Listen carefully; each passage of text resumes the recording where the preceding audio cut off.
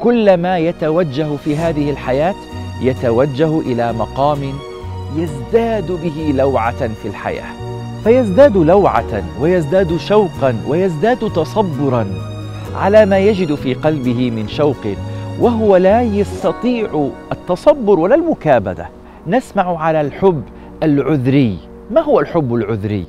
وما هو الهوى العذري؟ فقد وصلوا إلى مقام الكلف.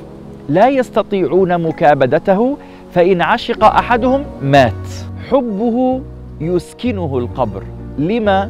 لأنه لا طاقة له على صد هذا الحب وهذه اللوعة.